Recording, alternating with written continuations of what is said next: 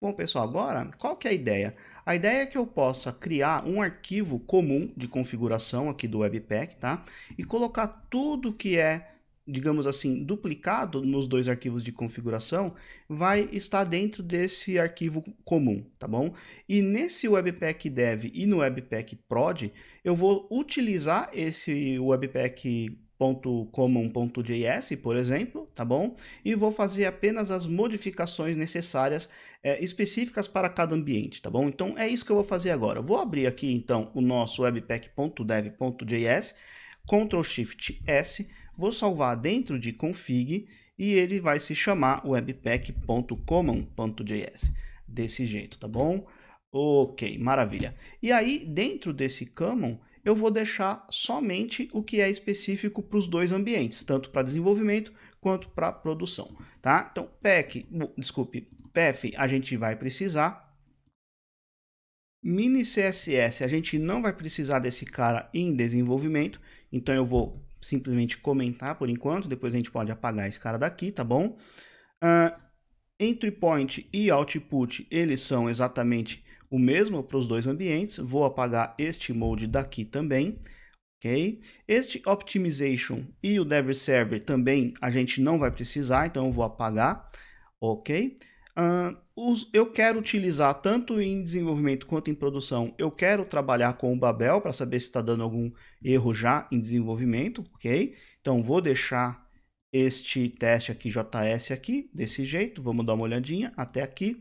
Maravilha. CSS, eu não quero, em desenvolvimento, trabalhar com esse, esse loader aqui, tá bom? Que vai externalizar o nosso CSS. Então, eu vou remover esta configuração, remover esta vírgula, ok? Desse jeito. Com relação aos plugins, eu removi este cara, então não vamos precisar dele tá? E independente do ambiente, eu quero sim é, limpar o diretório dist e também quero gerar o CSS, tá? O, desculpe, o HTML, né? Ok? Maravilha, vou salvar este cara, ok? E o que que eu vou... Uh, deixa eu minimizar um pouquinho mais, não dá, não tem problema. Vou vir aqui, deixa eu começar a fechar algumas coisas que a gente não está utilizando para ganhar espaço. Maravilha, ok. Então temos aqui o common, temos o prod, deixa eu abrir também o dev, tá? Maravilha. O que que vai ter dentro do dev agora, né, pessoal? Bom, primeira coisa, eu vou querer importar este nosso webpack.common.js. Então eu vou criar aqui em cima uma constante chamada de common e vai receber um require aqui uma string ponto barra Webpack Common, desse jeito, tá? E aqui eu quero é, que este objeto de configuração seja uma mistura do Common com algumas outras coisas, né? Por exemplo, no Dev eu quero trabalhar, por exemplo, com o Dev Server, tá? Então eu quero apagar do Dev tudo que não é referente, né? Tudo que está dentro do Common agora, tá? Então, vamos lá. No Common eu já tenho o Entry e o Output, tá? O Mode Development a gente vai precisar. Com relação aqui aos módulos, a parte de JavaScript a gente deixou no Common, então eu vou apagar daqui. Olha só. Vamos apagar tudo isso, tá? Desse jeito, deixa eu tirar uns espaços aqui. Só que a diferença é que para dev, eu não vou querer externalizar o meu JavaScript. Então eu vou substituir este objeto aqui pelo loader que vai simplesmente colocar é, o meu CSS né, gerado lá no meu, no meu HTML utilizando a tag style.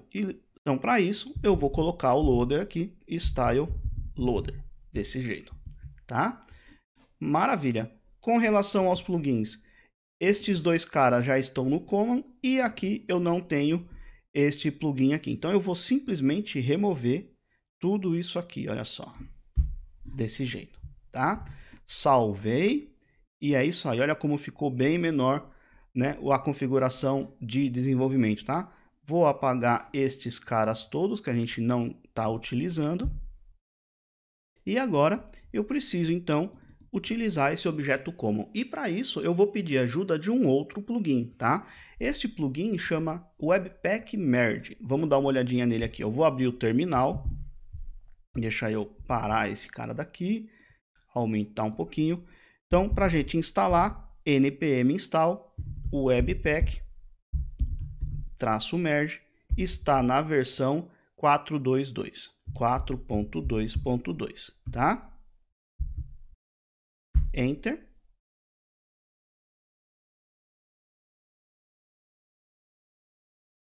Maravilha. Já está instalado, deixa eu fechar e vamos utilizar ele aqui. const merge vai receber aqui require webpack merge desse jeito. E aqui embaixo, né, eu tenho o config que está tá sendo exportado aqui.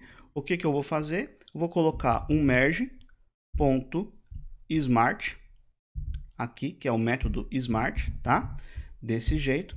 E aqui eu vou colocar common com o nosso config, tá? Eu vou fazer o merge do objeto common que foi importado aqui em cima, tá bem? Que é este cara daqui.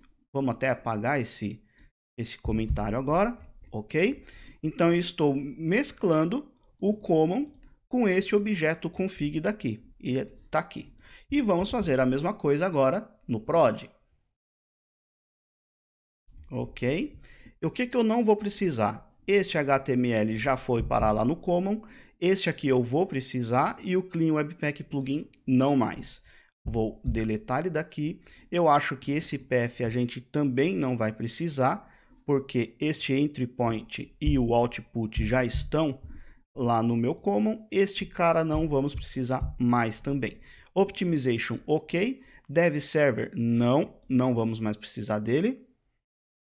Assim.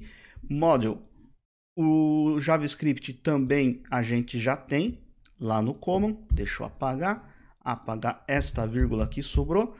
E aqui sim eu vou utilizar o Webpack, o CSS Webpack Plugin, ok? É, ok, maravilha, auto prefixer, maravilha. E aqui sim, aqui eu não vou precisar nem deste e nem do último aqui. Salvar.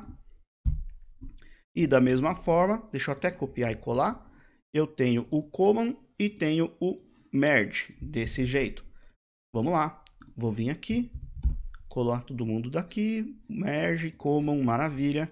E aqui então eu vou fazer o seguinte, copiar esta linha daqui para cá, desse jeito. Salvei, salvei todo mundo. Então temos o common, o common e o config que foi definido aqui em cima com as definições para a produção. Vamos executar esses caras todos, ver se tudo está funcionando. Ok, Deixa eu abrir o meu terminal do Git Bash, só um minuto. Aumentar um pouco aqui, vamos lá. npm run build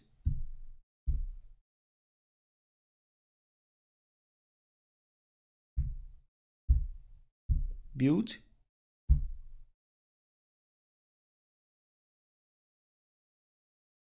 ok vamos dar uma olhadinha nos, nos arquivos gerados ah, deixa eu aumentar um pouquinho aqui. Então tá lá nosso index todo minificado numa única linha, ok?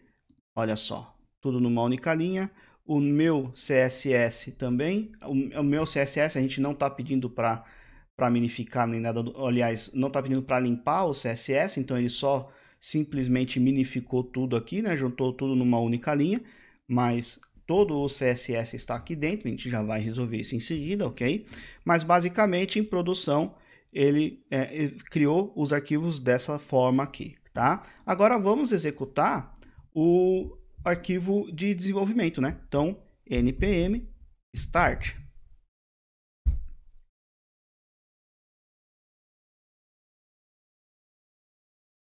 Style sloader não existe, tá, pessoal? que cometi uma falha em dev style loader desse jeito.